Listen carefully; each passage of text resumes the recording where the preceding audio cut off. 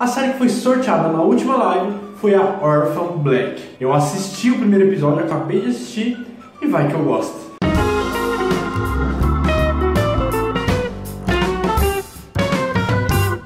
Bem-vindos a mais um vídeo do canal. Eu sou o Série Sexual. Eu sou o Luke Smith e eu acabei de assistir o episódio piloto de Orphan Black enquanto eu voltava no trabalho assistindo trem mesmo. E, mano, já falo pra vocês, mas antes de eu falar, se inscreve aqui no canal, você ainda que eu sei que você ainda não é inscrito, então já se inscreve aqui embaixo. E se gostar do vídeo enquanto estiver passando aí, já deixa seu like também para ajudar a fortalecer o vídeo e o canal, porque chega no finalzinho do vídeo a gente acaba esquecendo. Então, se você estiver gostando, já clica no like e clica no sininho também para ativar as notificações dos próximos vídeos. Lembrando que tem vídeo toda segunda, quarta e sábado e live toda quinta-feira às 8 da noite. E eu acabei de assistir essa série que, mano, me surpreendeu muito. Como eu já tinha falado lá na live, essa série eu já tinha lido a sinopse dela lá em março, quando eu fiz um vídeo em homenagem às mulheres no Dia Internacional da Mulher, que eu falei sobre oito séries com protagonistas femininas muito fortes, e Orphan Black estava na lista. Só que como eu não conhecia, eu dei uma lida sobre elas na sinopse e tal, para saber do que, que se tratava para poder falar no vídeo. E aí eu descobri a série Orphan Black. Eu nunca tinha visto nada sobre ela, eu conhecia só pelo nome, eu não fazia ideia do quão sensacional é essa série. E é claro que eu tô me baseando nisso pelo primeiro episódio. E pelo que eu me lembro da sinopse, se eu tiver errado, me perdoem, é uma mulher que tá meio ferrada na vida e que descobre outras mulheres que são idênticas a ela. E se eu não me engano, são todas clones umas das outras. E eu lembro quando eu li que logo no comecinho ela ia encontrar uma mulher parecida com ela morta e ela ia tentar tomar a vida dessa mulher só pra conseguir um dinheiro e tal, pra conseguir fugir. E ela ia acabar descobrindo um monte de coisas sobre isso, sobre por que aquela mulher era igualzinha a ela, ia descobrir outras mulheres igual a ela e ia começar a investigar sobre isso. Foi o que eu sabia até então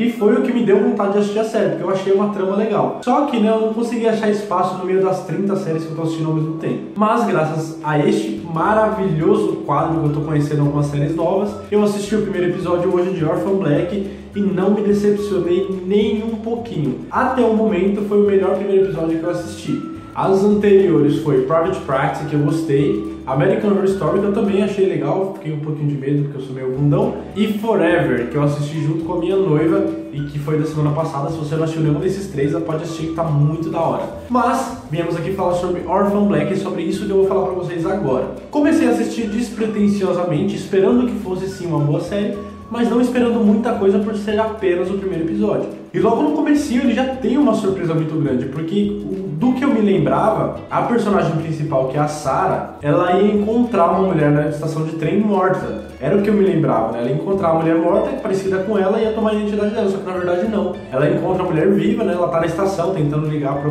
pra mulher que cuida de uma criança lá que eu acho que é a filha dela. E aí ela desliga o orelhão e tal, e vê uma mulher meio que tirando a blusa, colocando a bolsa, tirando o sapato, no meio da estação à noite, tipo a estação deserta, né? Ela começa a se aproximar da mulher e essa mulher tava de costa. Aí quando ela vira, é idêntica só que a mulher nem se assusta. A mulher, tipo, ela tá meio com a cara de choro assim nem se abala, mais do que ela já tava abalada. E aí começa a andar e vai entrar na frente do trem, tipo, mano, ela já fica muito assustada. E a gente também fica, né, velho? Porque do nada, uma mulher igualzinha a ela se matou assim na frente dela e ela fica chocada demais, velho. Porque você presenciar alguém se matando já deve ser foda. Mas você presenciar alguém que tem a sua cara, que é idêntico, que você não conhecia, e a pessoa se matar, mano, é um choque muito grande, né, velho? E aí, quando tá todo mundo lá tentando salvar a mulher, tentando ver se ela morreu mesmo ou não e tal, não sei o que, ela lembra que a bolsa tá lá na plataforma, vai, pega e sai fora. E ela tá passando por algumas dificuldades e tal. Ela é órfã, por isso, talvez por isso que o nome da série seja Orphan Black. E ela não conhece os pais dela e tal, provavelmente tem pais adotivos. E é meio ferrada na vida, é pobre e tal. E aí ela vê a oportunidade de talvez conseguir um dinheiro, né, e falsificar a identificação dela ali. Foi, pegou a bolsa e saiu fora. E aí conseguiu achar um dinheiro, a documentação da mulher e pá. E nessa bolsa também tinha o endereço da mulher, então ela resolveu ir lá para ver na casa, para ver o que ela poderia fazer com todas essas oportunidades que a vida trouxe para ela. Só que aí ela vê uma puta de uma oportunidade boa, porque ela descobre que a mulher tem 75 mil dólares no banco. E aí ela, né, então vou me passar por ela, porque, né, até conseguir esse dinheiro depois eu vou embora. Só que as coisas vão começando a ficar um pouco mais complicadas, porque do nada vem um cara na rua e arrasta ela pro meio de uma delegacia, ela descobre que ela é uma policial, mano. Olha que louco isso, né, velho? E aí ela tem que dar um depoimento lá. Só que, mano, como é que ela vai fugir disso? Porque ela tinha que dar um depoimento sobre uma mulher que ela matou, sem querer, ela não, né? A outra mulher que se suicidou tinha matado uma civil sem querer e tinha que dar um depoimento sobre isso. E aí ela tinha que dar esse depoimento, só que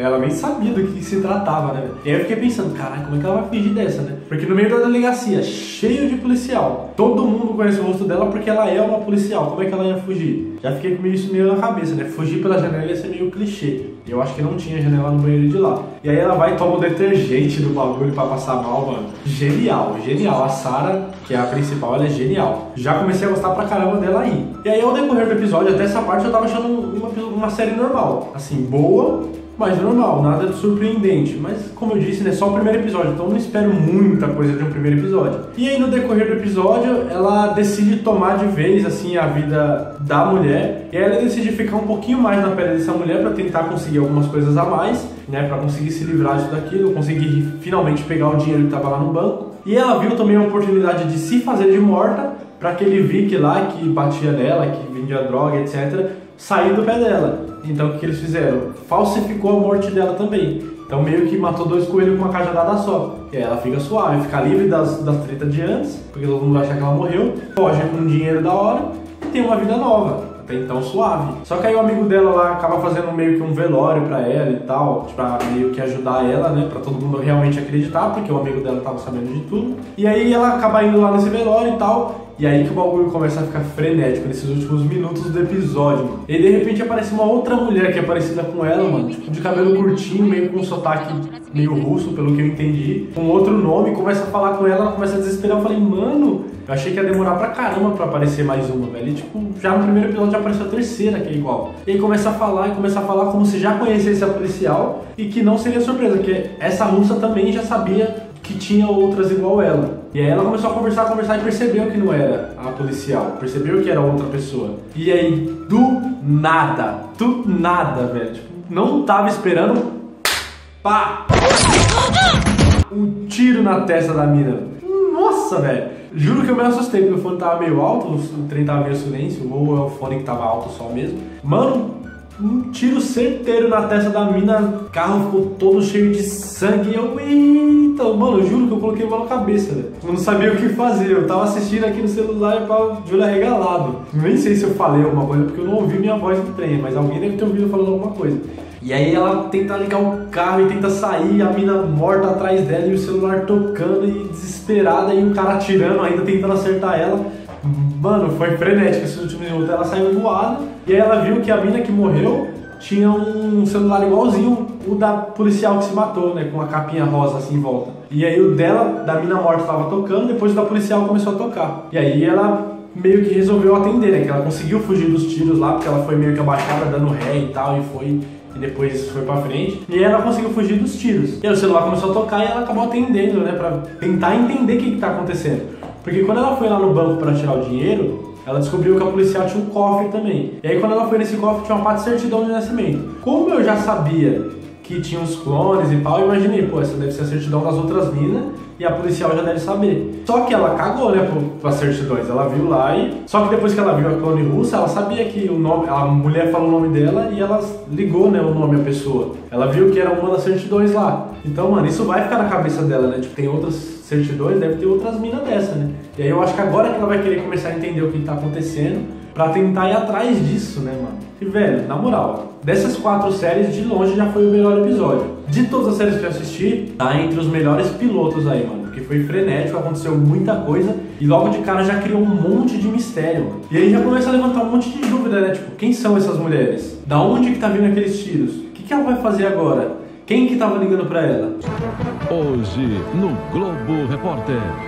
Então, mano, sinceramente, gostei muito, muito mesmo desse primeiro episódio, mano. Tive várias reações diferentes, dei um pouquinho de risada, me apeguei já aos personagens, já criou uma história muito legal, uma trama muito da hora ali de acompanhar. Mistério pra caramba, surpresas ainda mais. Então, mano, parabéns, parabéns ao Orphan Black. O episódio piloto foi sensacional. E de 0 a 10, se eu vou ou não continuar assistindo essa série, se eu vou ou não incluir essa série na minha grade, a resposta é eu já incluí na minha grade, já tá aqui, ó. E isso, do meu ponto de vista, é até meio ruim eu já ter colocado isso na minha grade, porque quem me acompanha no Instagram, se você não me acompanha, me segue lá, Luke Smith Oficial, tudo junto. Lá no Instagram eu postei essa semana que só faltava três séries. Três séries eu conseguir colocar tudo em dia. Só faltava Blacklist, Pretty Little Liars e Better Call Saul. Só faltava essas três eu conseguir colocar tudo em dia, mano. É meu recorde, é meu recorde. Nos últimos três anos, assim, eu nunca fiquei com tão poucas séries atrasadas. E agora acabei de incluir mais uma e agora o Orphan Black também fez ficar quatro séries de novo atrasadas. Mas é claro, né, que chegou agora, então não vai sentar na janelinha. Vou assistir as outras três primeiro mas com certeza eu vou continuar assistindo Orphan Black, gostei demais, demais, demais. Valeu por todo mundo que indicou essa série nas outras lives, que acabou não sendo sorteada, e nessa também. Então, obrigado, gente, por essa série. Foi foda. E se você não assiste Orphan Black, já viu como é que é o primeiro episódio de tudo que eu falei aqui, assiste lá que é louco demais. E conforme eu for assistindo aí, quem sabe eu faço mais vídeos sobre essa série. Me segue nas redes sociais que eu vou deixar aqui embaixo, no Instagram e no Twitter, que é o que eu mais estou usando. Snapchat eu já abandonei, eu vou mudar esse fundinho aqui embaixo, pode ficar tranquilo. Sigam o Daily Series também no Telegram, que tá aqui, ó, arroba Daily Series, que é uma página lá no Telegram, que é como se fosse um grupo de WhatsApp, só que é um só administrador que manda mensagem. E tem muita informação boa lá das suas séries, dos seus filmes favoritos, do que mais está na mídia, mais está em alta, eles estão falando lá. E tem um grupo também do Daily Series, do pessoal que segue o Daily Series, que são os Dailers, que lá eles conversam sobre as séries, tudo que vai acontecendo e tal, e aí todo mundo pode interagir.